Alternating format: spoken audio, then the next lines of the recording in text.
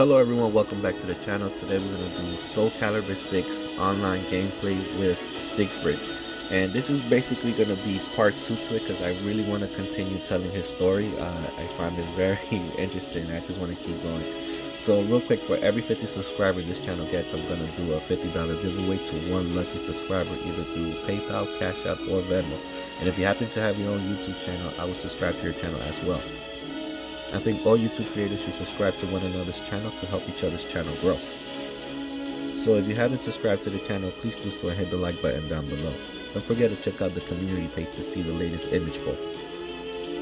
I also have a new playlist called Announcements, so you can stay informed with everything you need to know about this channel, upcoming events, raffles, and giveaways. And if you really want to support this channel, any donation, big or small, will help the channel grow. Thank you and I hope you enjoyed today's video. Alright, here we go, guys. So we left off with him with Siegfried becoming Nightmare all over again, right? Desperately pursuing the fragments of the soul edge that he mightly fully um, be able to restore it. As Nightmare plunder a powerful soul and recover shatters of the fragments of the sword and the cracks of soul edge heal one by one. Holy shit, I'm fighting Bruce Lee? Nice. This should be a good fight. Eh, kinda looks like him. Well, as much as I enjoy watching all your movie Lee, I'm not to whoop that ass. Anyways, alright, it says here one by one, right? So his goal of reviving the evil sword, um, sword edge forward um, towards completion. After some time, the Azure Knight returned to his old stronghold of Ostrheinsburg, as it is um, bloody land was fitting stage for the restoration of the evil sword's true power in the ruins of the chapel, a lone fencer, Raphael, appeared in search of Soul Edge. The two of them faced off. At the end of the fierce battle, Nightmare stood victorious. As he stepped forward to finish Raphael off, he muttered something incro, incro, incoherently. Well, I guess his last dying words, whatever. So, deep within Nightmare's eyes, a faint light dwelled. It was the will of Siegfried as he struggled to free his mind from the influence of the evil spirits of the source near at him. The two of them held for a formless fight as Siegfried struggled to take his body back while the Inferno mocked him and his father. Sometime during this, Raphael made a desperate last strike and damaged Soul Edge, and contributing factor to Siegfried's final escape. And that's the end scene of Soul Calibur 2. Now, Going to Soul Calibur 3, the battle raging deep within his mind um, accused of the Azure Knight to stand motionless. Behind him, the wounded body of Raphael trembled. Only Raphael's great will enabled his uh, greatly injured body to move, drawing his last strength. Raphael unleashed a desperate final blow upon his enemy. The strike pierced the center of Soul Edge, Nightmare let out an inhuman cry inside him. The crazy wounded mind of the evil sword clawed at his consciousness. Siegfried stood with an iron will against the raging storm and finally restored control. Now, he who has been lost uh, to the cursed sword for so long had reclaimed his body as his own. In response to the rapid weakening evil, the light poured out like the upcoming of dawn, when was when it was all over, Siegfried thought back to the days over what he had done. As he looked around, the, he sighted a sword that appeared along the light. As he guided by something that he took the sword in his hand and drove it into the evil eye. That he was the core soul of Edge, Soul Edge. Ah, here we go. Final battle. Yo, Bruce Lee was no joke. This guy is very tough. But my YouTube channel, son, you gotta go down.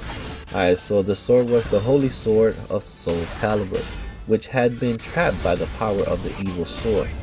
The blow, however, was not enough to destroy the evil sword. The evil energy of Soul Edge had quieted back the holy sword, still piercing the cursed sword, had gone si uh, silent, as if it too had lost its power. This is enough.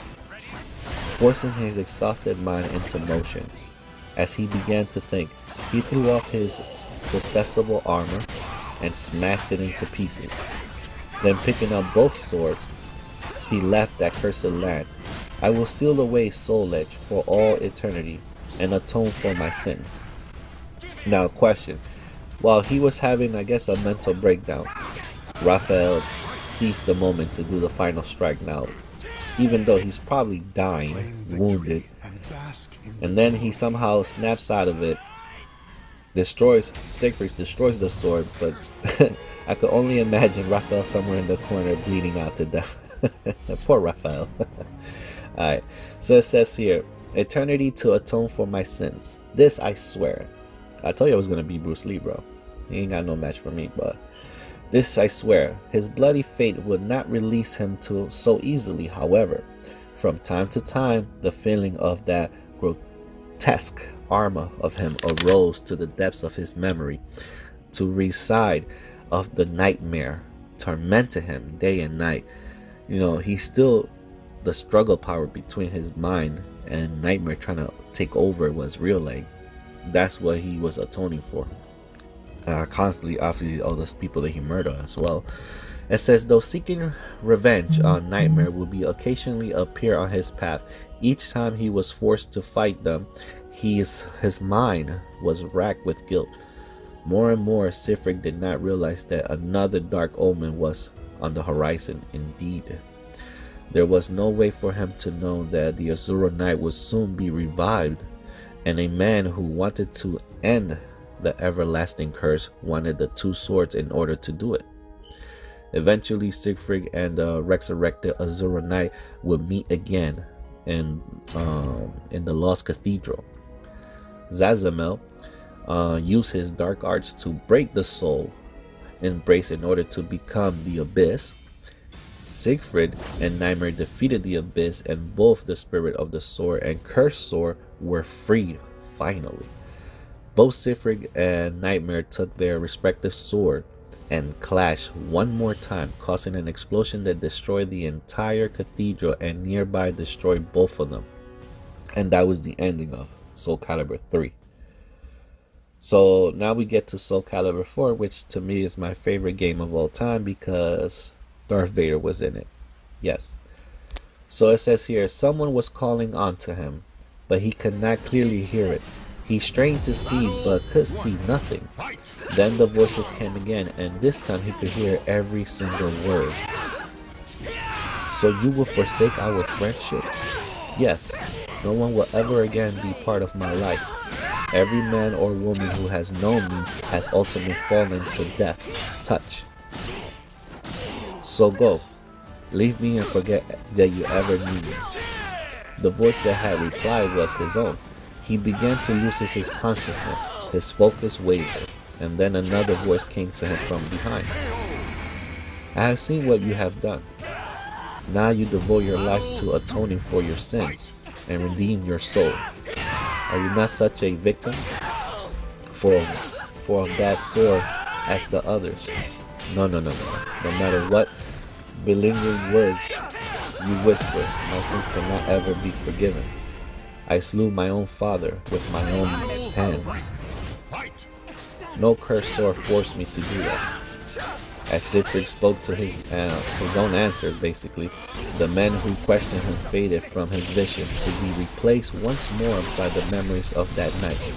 The wind blew the clouds from the wait. The wind blew the clouds from the faces of the moon, and suddenly the head that he had held triumphantly aloft was grimly revealed, and he saw the face of and he saw the face, and there was no denying the truth. It was his father. His heart was in agony, and if it had been pierced by a white hot bladed blade, you know. Damn. I'm trying to see if I could get three in a row on this Ivy player. Let me see if I get it with a special. Daddy. Sorry, Ivy. Better luck next time. So it says here, Siegfried jerked upright as he yanked it out by a puppeteer string, the full moon bathed in his face in light. It had been a dream. He was all alone. He pressed his hands against the armor that covered his heart. A terrible scar marked him there. The maelstrom of power unleashed by the Soul Calibur and Soul Edge clash at the Lost Cathedral had torn his body apart. His long quest to destroy the cursed sword had been so nearly completely completed. Redemption had been within his grasp, yet in the moment he had died, the scream of the frustration at his failure silenced of his lips. Perhaps the spirit sword responded to the outpouring of emotions, for the sword whose destiny it was to destroy the cursed sword resonated with Siegfried's soul. It chose you, Siegfried, for its master. Doing so saved his life. Alright, so Siegfried thought again of the dream that he had just seen.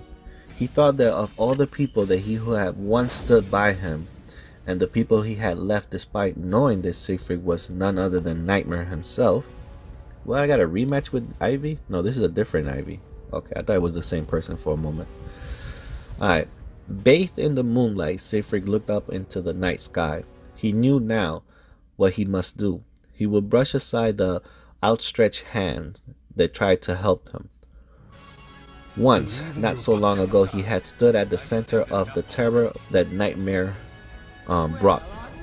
The enemy he now faced was the cursed devourer of souls, Soul Edge. Awaiting him was the maelstrom of destruction unleashed by the cathedral. Soul Calibur shone with a cold light in his hand. Siegfried made up his mind to become like the sword. No one would touch his heart. No man or woman would sway him from his path until the cursed sword was destroyed for all time. Images of this um, brothers in arms, comrades, even friends that might have been, and of course his father, flashed one by one through his mind. He was alone and he had no choice but to be alone, for he would never again hurt those he loved. Yeah, solitude, that's what he's been trying to do all this time, but, you know, it is what it is. Uh, Siegfried turned his gaze away from the heavens. Before him, a black shadow lay heavy over the cursed city of Ostrheinsburg. His journey was coming to an end. And that's it. So now we're in Soul Calibur 5 but I am running out of time. I don't know if I should make another video, which I probably will because I am very interested. So yeah, I'm gonna leave it right there. So when we start the next video, I'm gonna start it at Soul Calibur 5. But let me see if I could just finish this battle real quick. Bro, Ivy players are very strong, because they have, bro, I know I have a long sword, the broadsword right there that gives me range, but they have hella range, man with her whip. She has a longer reach. But I have to like run into her because if not, she's gonna catch me. Like I cannot give her a chance to breathe. Ah, she got me. Oh, wait. Did I get her? Get your ass out of here. Three straight. Somebody go get the broom.